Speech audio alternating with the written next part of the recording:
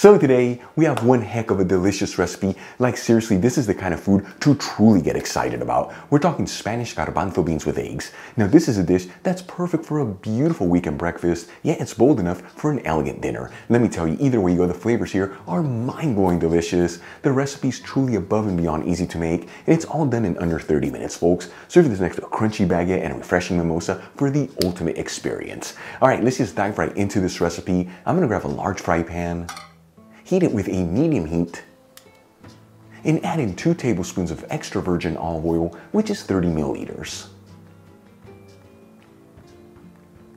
Now the vegetables I'm going to use to make this recipe are the ones that are most commonly used when you're making Spanish garbanzo beans, onions, garlic, bell peppers, and tomatoes. Of course, you can mix it up and use whatever vegetables you want or whatever you have on hand. After heating the olive oil for about 2 minutes, I'm going to add in one small onion that I finely diced, one small green bell pepper that I finely chopped, one small red bell pepper that I finely chopped, and four cloves of garlic that I roughly chopped. And we'll mix the vegetables around, that way they're all coated in that olive oil. And as you know, I always like to mix this continuously, that way the vegetables don't brown too quickly and they all evenly saute. After about 5 minutes and all the vegetables are lightly sauteed and the onions are nice and translucent, I'm going to add in 1 teaspoon of sweet smoked Spanish paprika, which is 2.30 grams, and half a teaspoon of ground cumin, which is 1 gram. And we'll give this a quick mix, that way those spices are evenly coating the vegetables.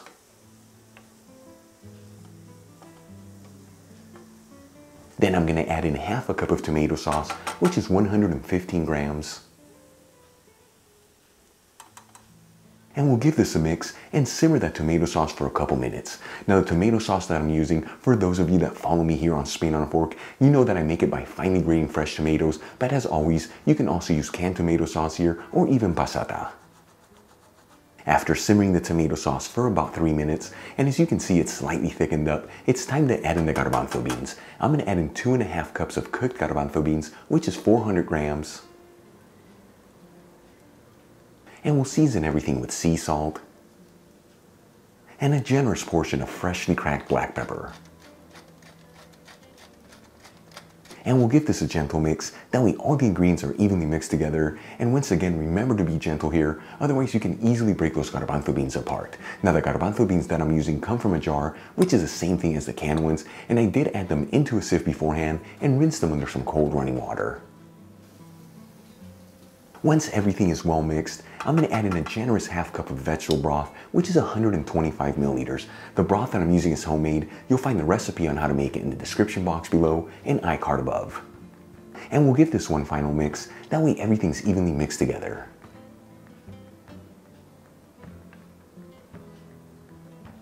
Then we'll lower the fire from a medium heat to a low medium heat and we're gonna simmer this for about five minutes. That way all the flavors can develop. In the meantime, let's get the eggs ready. I'm gonna be using some cage-free organic eggs, but you can use whatever eggs you like. And before I add them into the pan, I like to crack them into individual bowls. This ensures that when we add the eggs into the pan, that the egg yolks are not broken and that no eggshells go in there. After simmering the garbanzo beans for about 5 minutes and all the flavors have developed, it's time to add in the eggs. I always like to create a little pocket in the mixture, that when you add the egg, it perfectly sits in there.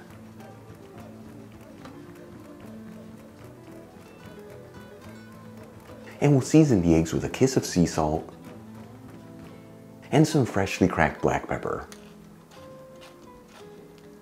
And we'll place a lid on the pan and we're gonna simmer this with the lid on between three to four minutes. This is enough time for those egg whites to fully cook through and for those egg yolks to still have a beautiful creamy texture. After about four minutes, I'm gonna remove the lid from the pan and look how beautiful this turned out. And as you can see, the egg whites are nice and firm and the egg yolks still nice and creamy. At this point, this dish is ready to go. I'm gonna remove the pan from the heat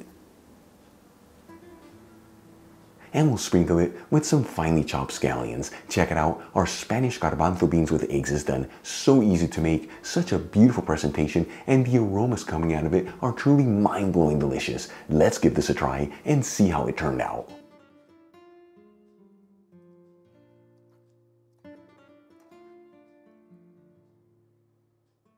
Seriously, look how beautiful this turned out. Here we go. It's a kind of dish that makes you want to dance because it is so good. But seriously though, that paprika with the cumin works so well with, uh, with the chickpeas, all the vegetables in there, and the eggs beautifully cooked. You saw this very easy to make, made with the simplest ingredients, and it's done in just under 30 minutes. Give this a try at home, breakfast, lunch, or dinner, doesn't matter when because the flavors are mind-blowing good. Really quick before I go, a shout out to a couple of my patrons, Robert Jefferson, aka the Kamakura Gardener, Martin John Matson, Jesper Halloum, Jim Owens, and Joan Killico. And guys, thank you so much for being patrons of Spain on a Fork. You know how much I appreciate you. For the rest of you, if you're not with me on Patreon and you'd like to support Spain on a Fork, you'll find my Patreon link in the description box below and iCard above. If you enjoyed today's video, hit that like button, leave me a comment below, and don't forget to share this video with your family and friends. That way our Spain on a Fork community can continue to grow. Till the next time, hasta luego.